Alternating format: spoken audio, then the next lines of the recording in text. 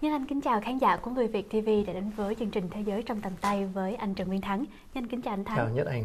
Dạ, ở trong chương trình ngày hôm nay thì anh Thắng sẽ dẫn Nhất Anh cũng như là khán giả của Người Việt TV đi đâu đây ạ? À, chúng ta có dịp là nói về cái thành phố Nazareth ở dạ. bên phía bắc của Do Thái. Và dĩ nhiên khi đến thành phố này rồi mà chúng ta không nói đến cái biển hồ Galilee hoặc là còn gọi qua một cái tên khác là biển hồ uh, Tiberias á, dạ. thì nó là một thiếu sót lớn lắm. Yeah. Tại vì chúng ta đến với à, thành phố Nazareth đó thì chúng ta có dịp xem cái à, thánh tích nơi mà thiên thần à, Gabriel đã hiện xuống báo tin với Đức Mẹ về việc Chúa Hài Đồng yeah. sẽ xuống thế gian để mà cứu rỗi nhân loại. Thì uh, uh, đó là cái phần đầu thôi. Yeah. Còn cái phần lớn lên đó là người cái khu vực mà Nazareth với cái Galilee đó thì người ta tin rằng ngày xưa Chúa uh, Giêsu đã từng sinh hoạt ở đây từ lúc nhỏ đến lúc lớn tức là ngài đến khoảng 30 tuổi thì ngài mới đi xuống phía miền Nam yeah. Dạ. à, do Thái phía đường à, đi xuống về phía Dead đó yeah. Dạ. thì chúng ta à, sẽ được biết thêm về những cái, cái hoạt động của ngài phía dưới đó. Thế dạ. tuy nhiên mà giờ ở đây đó thì chúng ta sẽ được à, về cái sinh hoạt của đời sống à, của Chúa Giêsu phần lớn được à, miêu tả ở trên cái hồ biển hồ Galilee. Dạ, yeah. nhưng mà từ cái thành phố mà Nazareth mà mình đi xuống cái cái hồ ở cái biển hồ Galilee đó thì có xa không anh Thắng? À, thì phải nói thêm Nazareth là thành phố nằm phía uh, tây nam yeah. Dạ. của uh, cái biển hồ Galilee. Yeah. Dạ. Còn nếu mà chúng ta nói về ngược lại thì uh, cái biển hồ Galilee nó nằm về phía đông bắc của thành phố Nazareth yeah. Dạ. và đây là cái biển hồ khá lớn. Uh, từ uh, Nazareth đi tới biển hồ khoảng 25 cây số đường yeah. chim bay nhưng yeah. mà nếu chúng ta đi được xe uh, xe đó thì chúng ta chúng đi mất khoảng hơn nửa tiếng thôi yeah. chúng ta đến nơi rồi thành thử uh, thực sự nếu chúng ta đi bằng xe hơi ở trong uh, khu vực của phía bắc của bên uh, uh, Israel do Thái đó thì chúng ta sẽ không có bị mất nhiều thời gian yeah. dĩ nhiên trừ những những lúc bị kẹt xe phải không yeah. À, nói đến uh, biển hồ này thì uh, đây là một cái sở dĩ gọi là biển hồ vì tương đối hồ là khá lớn hồ bề uh, dài của nó có khoảng tới 23 cây số yeah. Dạ. và bề ngang nó cũng khoảng 13 cây số thành ra đây là một cái ờ, hồ lớn chứ không phải nhỏ yeah. một dạ. cái chu vi của cái hồ một khoảng ờ, hơn 50 cây số là không có nhỏ nữa yeah. Dạ. và dĩ nhiên à, tôi có dịp đến đây và tôi có dịp đi trên hồ mấy lần rồi và dĩ nhiên mỗi lần đi thì học hỏi mỗi lần đều có học hỏi những cái hay hơn và dĩ nhiên chúng ta được nhìn những cái thực uh, uh, cái thực tế là những cái điểm mà chúng ta chỉ biết trên bản đồ chúng ta chưa dịch nhiều chẳng hạn như cái uh, tôi có dịp đến cái uh, hồ Galilee và trên cái phía hồ mà phía bắc của hồ đó yeah. Dạ. thì chúng ta gặp ngay một cái gọi là cái uh, cái cao nguyên mà ngày xưa gọi là Golan yeah. Dạ. Golan đó Golan là một cái vùng mà ngày xưa trong cái trận chiến à, năm 1967 giữa Do Thái với các nước Ả Rập chung quanh đó yeah. và Do Thái đã chiếm mất cái uh, cao nguyên của đất nước Syria yeah.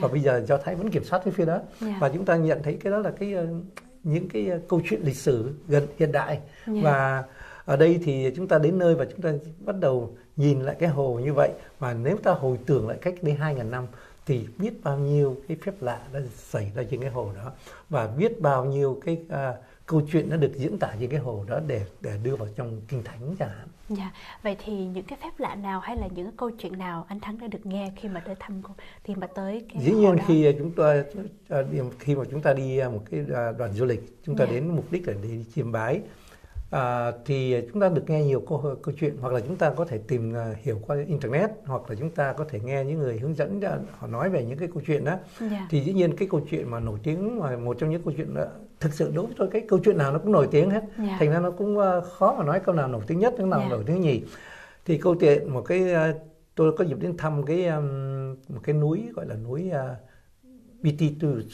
thì à, mình tiếng Việt Nam mình dịch ra là núi Bát Phúc. Núi Bát Phúc. Bát dạ. Phúc là đây là nơi mà Chúa Giêsu đã có dịp đến à, cái khu vực núi này và ngài đã đã, đã, đã giảng đạo ở đây à, cho một số các môn đồ của ngài và cũng là rất là nổi tiếng. Yeah. Dạ. Dĩ nhiên thì à, cái địa điểm mà chúng tôi đến đó đây bây giờ được xây dựng lên ngôi nhà thờ thì trong ngôi nhà thờ đó thì trong đó chúng ta vào trong đó thì à, nhà thờ bên trong được à, trang trí bằng cái hình ảnh là 14 chặng đường thánh giá của Chúa Giêsu. Yeah. Dạ. Và dĩ nhiên là có một cái à, điện thờ để chúng ta biết là đây là nơi à, mà đã là một cái à, cái tưởng nhớ đến câu chuyện ở trong kinh thánh nói Chúa Giêsu đã giảng đạo cho các môn đồ và sau đó thì à, đứng ở đây phải công nhận như thế này ở trên một cái đỉnh núi cao như cái núi Bát Phúc đó, mà nhìn xuống cái hồ Galilee đó, nó đẹp lắm yeah. Dạ. và và dĩ nhiên cái khu vườn chung quanh của nhà thờ cũng đã được uh, gọi là trồng nhiều loại hoa để mà chúng ta có thể thấy được cái cái phong cảnh đẹp của nó yeah. Dạ. đó. Uh, thì đó là một, một câu chuyện và dĩ nhiên trên đường đi trong cái nhà thờ thì uh, trên đường đi vào nhà thờ thì đúng hơn thì người ta đã ghi lại những cái câu gọi là tiếng Anh là tám điều phúc lành yeah. Dạ. mà Chúa Giêsu đã dạy cho các môn đồ yeah. và thì uh, đó là một cái câu chuyện để đi thăm một cái một trong những cái uh, cái uh, à, cái đỉnh núi à, Bát Phúc tại ngay cái phía bắc của cái hồ Galilee. Yeah. Dạ.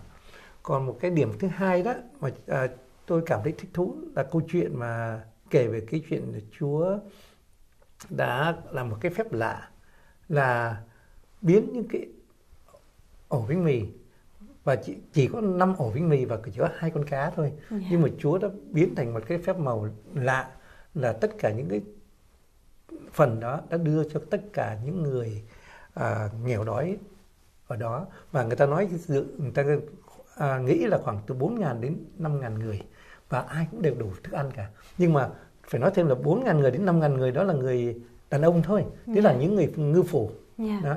và những người đàn ông thì cộng thêm uh, vợ con của người ta nữa yeah. thì thì uh, nhất anh có thể hình dung là yeah. một số lượng người rất khá lớn yeah. nhưng mà Chúa đã dùng phép màu là biến các ổ bánh mì và hai con cá đó thôi nhưng mà đủ thức ăn cho tất cả mọi người thì yeah. đó là một cái câu chuyện lạ và dĩ nhiên người ta khi đến cái cái hồ Galilee mình cảm nhận được cái câu chuyện đó và cái hồ Galilee phải nói thêm là tại uh, bây giờ họ có những cái tour du lịch họ để cho chúng ta đi trên hồ đó yeah. dĩ nhiên không có nhiều lắm những cái thuyền đó là thuyền gỗ và được đi trên hồ và người ta kể lại những câu chuyện đó và người ta để cho mình biết những nơi chốn nào đó yeah. cách đây hai ngàn năm những câu chuyện về Chúa Giêsu đã làm những cái phép màu như thế nào yeah. và dĩ nhiên à, nhìn xuống cái mặt nước hồ xanh biếc yeah. màu lá cây đẹp lắm yeah. và dĩ nhiên cá rất là nhiều Yeah. Tại vì tôi có thể nhìn thấy được cá ở dưới hồ nó trong tới mức độ cá trong rồi mình cá. có thể nhìn được. Yeah. Dĩ nhiên càng ra xa thì mình không nhìn thấy hết được. Yeah. Nhưng mà mình thấy được uh, cá đã có ở đó. Yeah. Và những câu chuyện nếu mà chúng ta hiểu biết về những câu chuyện là phép màu lạ của Chúa Giêsu trên cái ờ, hồ Galilee thì chúng ta rất là thích thú yeah. Dạ. và dĩ nhiên mình sẽ trở lại theo sau cái phần mà nhất anh tạm dừng ở đây. Dạ, yeah. cảm ơn anh Thắng. À, hẹn anh Thắng trong cái phần sau mình sẽ kể nhiều hơn yeah. Dạ. anh Thắng ha. Dạ. Nhất Anh kính chào khán giả của Người Việt TV đã quay trở lại với chương trình Thế giới trong tầm tay với anh Trần Nguyên Thắng. À, trong phần 1 thì anh Thắng kể uh, có một số câu chuyện về phép màu uh, trong xung quanh cái vùng biển hồ Galilee thì anh Thắng có nói là để giữ lại một cái chuyện mà anh Thắng thấy thích thú nhất trong phần này thì đó là câu chuyện gì hả anh Thắng? À, một cái điểm mà chúng ta có thể thấy thực tế đó yeah. Dạ. là tôi có đến thăm một cái nhà thờ và cái nhà thờ được mang tên là Wedding Church. Wedding Church. Tức là nhà thờ đám cưới. Dạ à, đúng rồi. Thì uh, qua cái câu chuyện kể trong uh, kinh thánh thì ta kể lại cái uh, có một à, người đã mời Đức Mẹ đến tham dự buổi tiệc cưới và hôm đó cũng có cả Chúa Giêsu đến tha, đến tha, đến tham dự và yeah. Dạ. khi Chúa đến đó, thì cái điểm đặc biệt đó là trong cái tiệc cưới đó thì cái cái người chủ nhân đó đã không có đủ rượu yeah.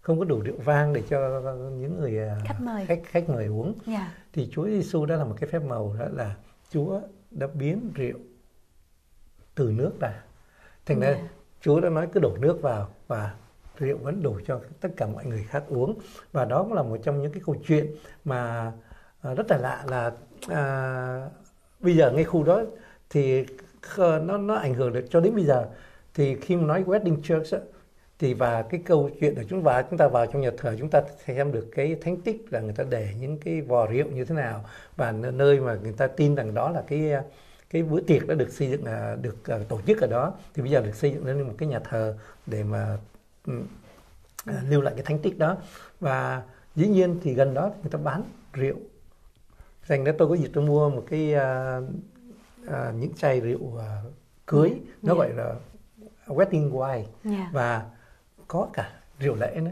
anh thắng Thành... có đem tới đây cho và dĩ nhiên có, có tôi yeah. Dạ. có đem đến đây để yeah. để có thể chúng ta nhìn qua một cái uh, cái uh, cái câu, câu chuyện về rượu và tại ngay cái cái gần đó gần yeah. trong cái khu vực của cái hồ Galilee yeah. và chúng ta sẽ thấy rất là đặc biệt yeah. và trong cái, cái chai rượu này đó thì phía sau lưng của cái chai rượu cưới đó của cái những cái chai rượu cưới người ta có để lại cái câu chuyện đó. À, à, tại sao là có cái câu chuyện như thế này và bây giờ tại sao họ dùng cái chữ là wedding wine yeah. hay là wedding church yeah. À thì ra là cái chai này đây nãy giờ đây. anh Thắng cầm theo mà nhân không biết là cái gì phải đợi. Thì ra như yeah. nhất anh nhìn thấy đó thì đây đó là đây là Cana of Galilee. Yeah. Đó, thì đây là tên của một cái khu vực đó, Cana yeah. là tên của một cái khu vực và đây là cái hình ảnh là người ta đang làm ra và dĩ nhiên thì đây là cái chai rượu và chúng ta có thể nhìn thấy yeah. thì đây là cái chai rượu đây là gọi là wedding wine yeah. và đây là cái chai rượu được dùng để trong à, rượu lễ yeah. à, và rượu lễ thì dĩ nhiên à, thực sự khi mà nói đến à, rượu thì chúng ta sẽ thấy nó có một vài cái à, cần chú ý yeah. là nó có hai ba loại Yeah. Yeah. Dạ, thành ra có loại uh, đắt tiền hơn, loại rẻ tiền hơn. Dĩ nhiên có thể đắt tiền hơn thì uống sẽ ngọt ngào hơn chăng nhưng mà yeah. điều đó không quan trọng. Mà quan trọng là chúng ta có những cái uh, kỷ niệm chúng ta đem về và dĩ nhiên chúng ta à, quý vị có thể mua một chai rượu cưới về hoặc là kỷ niệm ngày đám cưới của mình mình có thể dùng cái chai rượu cưới mà ngày mà cứ hình dung ra chỗ đó mà ngày xưa Chúa Giêsu đã từng đến tham dự một cái buổi tiệc cưới và ngài đã biến nước thành rượu yeah. Dạ. và đó cũng là một cái rất là thích thú trong một cái giả thử mình à, làm người tôn giáo khác nhưng mà à, cái điều cái văn hóa đó rất là romantic và rất yeah. là dạ. thích thú cho một cái uh, một cái uh, anniversary uh, một cái kỷ niệm đám cưới của của chúng ta. Dạ, yeah. mà đôi khi nhiều khi không cần phải là mua về để kỷ niệm đám cưới mà nhiều khi mình mình tới một nơi nào đó mình mua một cái souvenir về để mà lúc nào mình để trong nhà mình rồi khi mà nhiều khi mình lướt qua mình nhìn thấy là à ừ. đây là nơi mình từng đến và trong cái lúc đó mình nhớ lại cái câu chuyện mình học về cái nền văn hóa của người ta như thế đúng nào đúng, đúng không anh Thắng? Yeah. Yeah. Thì ngoài những cái chuyện mà mình có thể học hỏi từ những ờ, người dân địa phương hoặc yeah. là chúng ta đến mua những này về người dân địa phương họ có thể nói cho mình nghe những câu chuyện về đó. Thì nhiên đối với họ họ tin như vậy thì họ nói cho mình nghe thôi yeah. và dĩ nhiên chẳng hạn như tôi khi tôi hỏi về rượu lễ chẳng hạn yeah. thì họ cũng có giảng nghĩa rượu lễ như thế này nó có hai ba loại loại đỏ loại trắng chẳng hạn uống như thế nào ngọt như thế nào yeah. loại ít ngọt loại nhiều ngọt thì tất cả cái đó là theo tùy theo cái à, cái à, cái ý muốn của mình thế tuy nhiên thì phải nói thêm đó là tất cả những cái uh, câu chuyện mà tôi vừa kể nó trở thành một cái business ở bên đó rồi yeah. nhưng mà còn cái chuyện mà chúng ta đi thăm nhà thờ đi thăm những nơi thánh địa và chúng ta chiêm bái những cái thánh tích thì đó là cái phần tâm linh của chúng ta yeah. và cái đức tin của chúng ta thì yeah. đó là cái điểm mà à, rất là thích thú trong cái chuyến đi về do thái yeah. và nhất là chúng ta cá nhân tôi tôi đến thăm với cái à, hồ Galilee chẳng hạn thì ngoài những câu chuyện tôi vừa mới kể với nhất anh đó thì chúng ta nghe đến câu chuyện như ngày xưa Chúa được đi trên hồ Chúa đi trên bìa trên biển hồ và câu chuyện là Chúa vừa bước xuống thuyền và khi mà tất cả mọi người bị gặp gió bão đó, thì Chúa nói cứ việc xuống để để mà cứ không sao khi mọi người xuống thì gió yên cả yên lặng hết thì tất cả mọi người đến bến bờ bình yên hoặc là Chúa có những câu chuyện làm phép màu uh, rất là nhiều khu trong cái khu vực của cái hồ Galilee yeah. Dạ. và chúng ta học hỏi rất là nhiều nhất này dĩ nhiên yeah. bây giờ tự nhiên tôi nói ra tôi không nhớ hết được yeah. nhưng mà đại khái đó là những cái điểm chính và đặc biệt là ngay cái hồ này bây giờ ngay cái gọi cái thành phố Tiberias á, yeah. thì Tiberias là tên của một thành phố ngay bên cạnh phía tây của cái hồ Galilee yeah. và cái thành phố đó bây giờ đó và người ta nói rằng năm 1986 đó khi mà người ta nạo vét cái hồ Galilee thì người ta đã tìm đã thấy một cái thuyền gỗ và khi người ta gọi là inspect tức là người ta khám uh, xét lại cái uh, cái thuyền gỗ đó thì người ta tin rằng cái thuyền gỗ này đã nó tuổi vào cái thời của Chúa Giêsu.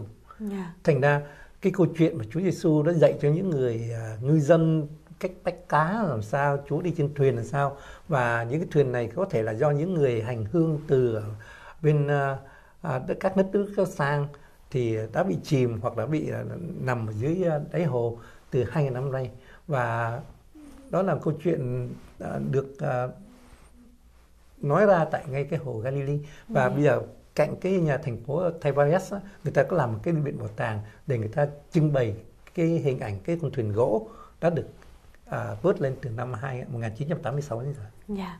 Uh, tới một nơi mà có rất là nhiều câu chuyện mà có nghe kể rất là nhiều phép màu thì cái cảm giác của anh Thắng như thế nào? Ừ thứ nhất thì à, nếu tôi đặt tên tôi không phải là người Kitô giáo yeah. Thì tôi rất là thích thú với những câu chuyện đó cái lý do là à, tuy là một cái câu chuyện được à, tả trong kinh thánh nhưng thực sự thì tôi đã không biết nhiều yeah. Dạ. về những cái điều đó cho đến khi tôi đến với cái, cái hồ Galilee khi tôi đến với cái thành phố Tiberias và khi đến với thành phố Nazareth thì đó là một cái điều tôi học hỏi được rất là nhiều tới cái khu vực mà phía bắc của Do Thái của Israel yeah. Dạ. và dĩ nhiên cái học hỏi đã được tiếp tục khi chúng tôi di chuyển về phía nam chúng tôi đến với cái thành phố thí dụ như ờ, Jerusalem và Jerusalem là một cái thánh địa của ba tôn giáo chứ không phải là ít yeah. Dạ. và dĩ nhiên tôi học hỏi cả bên Jordan đó. chúng tôi đến được bên Jordan và chúng tôi đã từng lên núi Nebo Nebo là nơi mà ông ờ, Moses của trong kinh cựu ước đó yeah. Dạ. đã đứng ở trên đó và tìm ra được cái gọi là à, đất hứa cho người dân do thái và cái vùng đất hứa đó bây giờ mà nếu nhất anh đến yeah. Dạ. và đi trên cái vùng đất hứa đó quả thực phải công nhận người do thái họ rất là giỏi tức là họ đã biến một cái vùng đất à, ngày xưa gọi là vùng đất hứa và bây giờ nó trở thành cái vùng đất hứa thật cho cả cái vùng đó là nó trở thành những đồng ruộng rất là phì nhiều yeah. và dạ. rất là xanh tươi đó là thành phố Jekiro yeah. Jericho tôi yeah. xin lỗi yeah. Jericho và đó là một cái thành phố mà thế nào trong cái chuyến đi du lịch của chúng ta chúng ta phải đi qua thành phố đó dĩ nhiên không phải chúng ta để nhìn cái phép màu mà chúng ta nhìn cái chỗ mà cách đây hơn hai ngàn mấy ngàn ba ngàn năm đó mà ông Moses ông đã nhìn cái đó để ông nói gọi là đất hứa và bây giờ thì người ta thấy rất là xanh tươi và yeah. đó là có thành phố uh, Jericho rất là nổi tiếng trong của cái ờ, đất nước Do Thái bây giờ. Dạ. Vậy thì nhanh phải hẹn anh Thắng thêm một bữa nữa anh Thắng sẽ kể cho những anh cũng như khán giả người Việt TV yeah. Dạ. về cái thành phố đó được không anh Thắng? Được. Yeah. Dạ. Ở Jericho thì ờ, dĩ nhiên chúng ta đến đây thì cũng có một vài cái ờ, thánh tích để chúng ta có thể xem nhưng mà đặc biệt là chúng ta sẽ có dịp chúng ta sẽ trở lại cái câu chuyện là cái hồ Galilee nó được nối chảy xuống và nó chảy xuống nó, nó bắt gặp cái hồ Dead Sea yeah. và trên đường đã đi đó là cũng có những cái thánh tích của Chúa Giêsu. Dạ, cảm ơn anh Thắng rất là nhiều đến với chương trình ngày hôm nay và hẹn anh Thắng trong chương trình lần sau với những thành phố hấp dẫn khác. Yeah.